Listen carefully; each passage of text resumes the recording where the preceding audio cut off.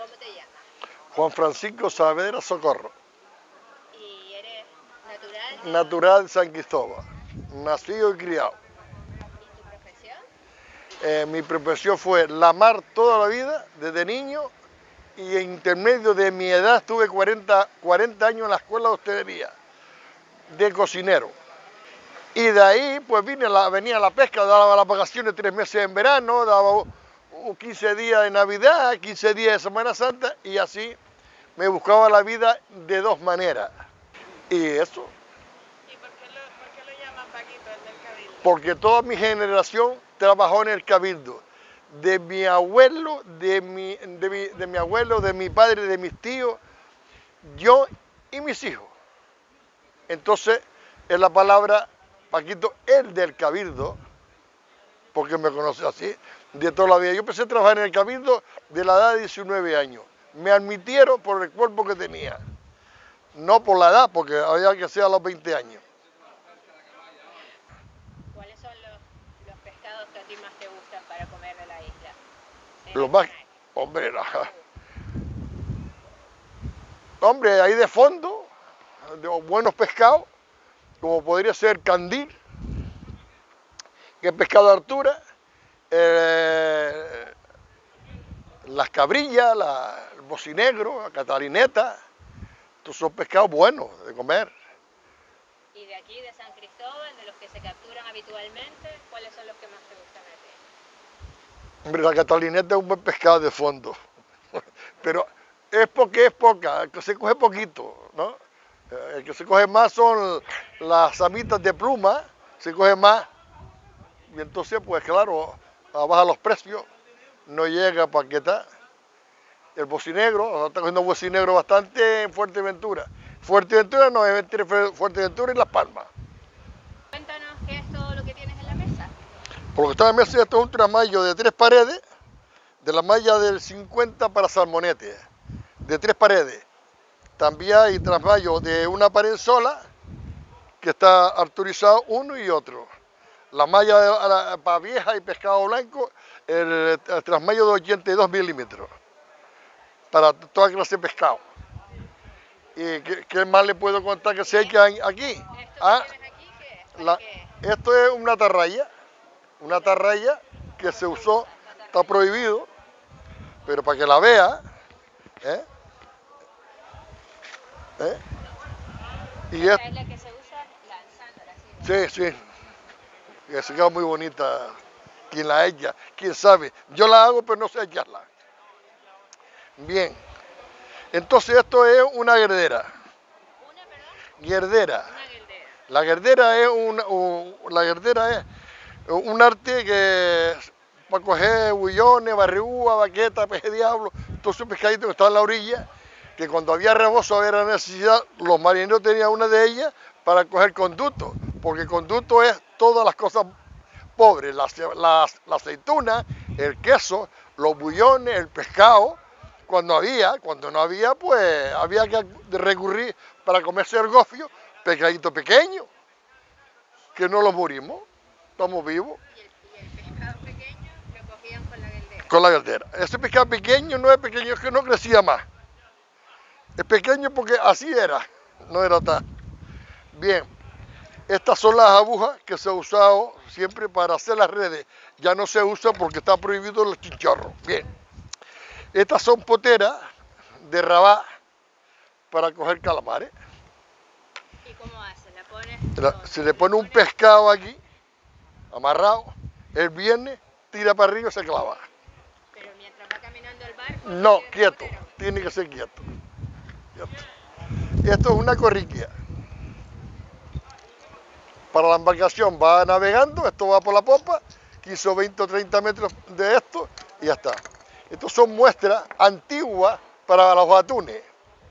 Muestras antiguas por los atunes. Y estos son los anzuelos que se Para usan. atraer a los atunes. Sí, para pescar, para, pescarlo sin carnar. Y estos son anzuelos viejísimos, se nota, para coger atunes también, aguja palagana, marrajo, de toda clase de pescado con la noche. Y era para tres meses al año se iba a pescar ese pescado. Y para coger ese pescado se pescaba con potas, se con esto, las potas. Esta es la vieja, la vieja. Y hoy, hoy día se usa esta, moderna, sin carná. Viene esto, se- esto se encienda y la, eh, la pota viene, se agarra, se tira, se clava y Santas Paco aleluya. ¿Y esto qué es? Esto es el chichorro. El chichorro. ¿Nos explicas cómo es? Sí, el chichorro, de más partes se puede echar o se echaba hasta un kilómetro de distancia, desde la orilla a un kilómetro de distancia. Y claro, se cogía toda clase de pescado. Y lo tengo ahí, está de bolsillo. Vale. Pero el chinchorro ahora no se utiliza. No se utiliza, está prohibido. Trasmayo. Eh, que es otra cosa. ¿Cuál es? Ese que está ahí. Y ese que está ahí, pero bueno, ya ese ya es igual, igual que este. De una pared sola y de, tres paredes que hablemos antes. Y las NASA. Como- Esta es una pulpera. Que aquí poco se echa. Aquí entra pulpo y tal. Y esto era para coger morena. Se llama tambor. Se le echa pescado ahí en dentro y se le echa piedrita y se mantiene quieto eso ahí. Y esto es para eso. ¿No sabes lo que es? Para oír el, ruido del mar. Sí, sí, sí. Se lo puede poner que lo oye. Bien. ¿Qué más? Esta es la luz, la luz que usábamos antes. El mechón. ¿Para ir a la pesca de pota, a calamares, a pescar cualquier pesca, a coger cangrejo blanco, que era para carnada, etcétera, etcétera. Era la única luz que había antes. Primero empezó el petróleo, luego vino el gasoil y luego vino todas la- la- las cositas estas, ¿no? Se alumbraba con esto, se echaba por aquí y la antorcha.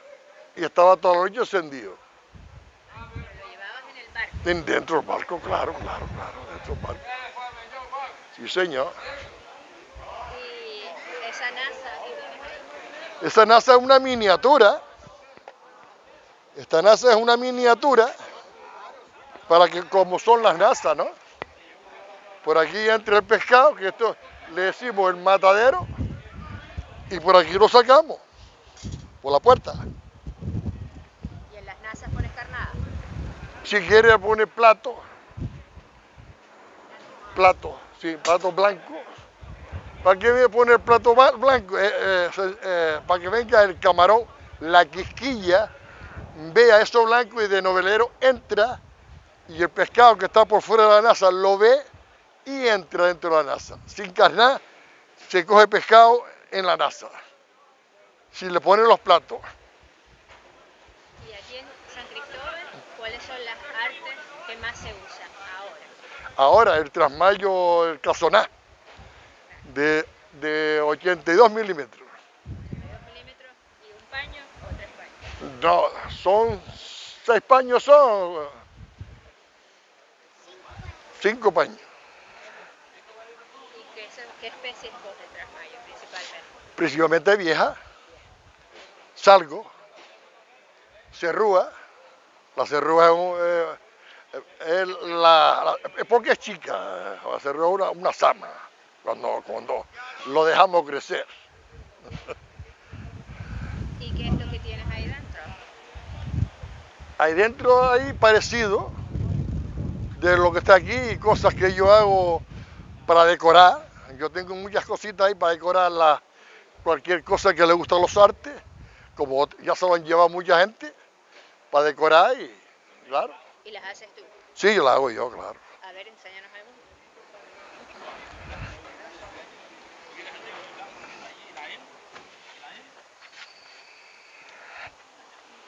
Agarra ahí, ahí.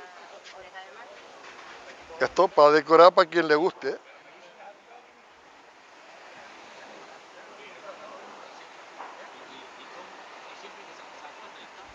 ¿Ves? Está bonito, ¿no? Por ejemplo, la- para que esté bonito todos los artes, todos los artes que se hacen hoy día, eh, si por el plomo tiene 50 metros, por la boya tiene que tener 47. Tres menos. Porque si es igual, cuando da la corriente al arte se tiende y el pescado pasa y no se enreda. Y Paquito, tú, cuando vienen los niños aquí, ¿eres tú el que les explica? Sí, ahí está la, ahí, eh, la explicación. Está ahí. La explicación está ahí. Tú vienen los colegios y tú eres el que les explica. Sí, este año vino por lo menos bastante. De octubre a noviembre, unas hartas, Ajá. Y te hacen muchas preguntas. algunas, algunas. Y también lo más que me sorprendí yo que las muchachas, yo por último ya traía pescado para que lo viera cómo se llamaba, esto y lo otro, me lo daba este domingo. Y entonces muchos de ellos, ay, habrá una, habrá una. Y le tenía a las pardas, cogía una y la había- Y las muchachas quere- querían mondar el pescado, muchas de ellas, quería aprender. Que me sorprendí, claro. Por último, Paquito, ¿cómo, ¿cómo ves tú el futuro de la pesca en Gran Canaria? Muy mal. Mal porque ya no hay gente nueva que trabaje en la mar. Ya no hay nadie. Nadie. Aquí yo estoy todo el día y no hay, una, no hay un chico o una chica que, que venga a ver lo que yo estoy haciendo. ¿Y qué podemos hacer para que se incorpore gente nueva? a la pa- mar? Tantas cosas. Yo, yo podría decir un pecado, ¿no? Un pecado. Y el pecado ese, eh, si yo me hice marinero como mucho, mucha gente mayor como yo, eh, fuimos marineros obligados, porque había que trabajar para comer. Hoy día no trabajan para comer, lo tiene todo hecho. Y hay que sufrir cuando son jóvenes, como lo fui yo y mucha gente. Yo fui vendedor de pescado, con una barqueta, unos ganchos y vendía el pescado fresco, el que, el que sacaba el chinchorro. En esa época no había hielo para guardar el pescado. Se cogía el pescado del día y en el día se tenía que vender. No se podía dejar para el siguiente día porque se podría. Bueno, pero ahora que es más fácil, ¿cómo hacemos para que la gente joven Tiene que pasar hambre. Así de sencillo. crezca? O habrá que enseñarles también que ahora se pesca distinto. distinto no, igual y se ganaría la vida.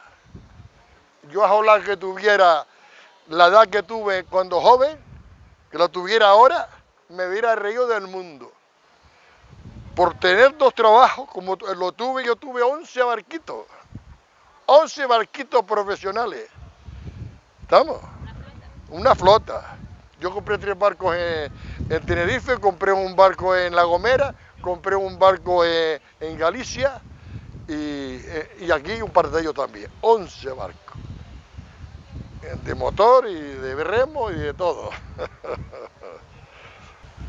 bueno, aquí lo, ellos lo único que podría sacar es que enseñarle a arreglar pescado por lo menos. Por lo menos abrir pescado, como hace la pesquería y en los sitios. O hay chicas y chicos que lo arreglan, los camas, y yo. Pero bueno, es una salida. Arre- a arreglar pescado. Que no le sale, bueno, ya como está sometido al pescado, pues se puede embarcar de marinero. Hay que sacar la matrícula. Se vienen las cofradías, pregunta a la cofradía cuándo se abre el curso para las matrículas. Y en fin, todas estas cositas que hay que hacer para ser marinero, que hay que hacer unas cuantas cositas. A mí me costó 25 pesetas mi matrícula. Y nada más que dar las 25 pesetas, o 30 pesetas era. Ahí, dame la matrícula y más nada.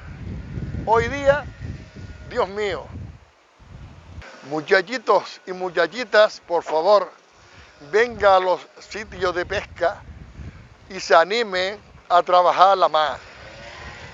Para que tenga un futuro el día de mañana como lo tuve yo. Si no trabaja, no come.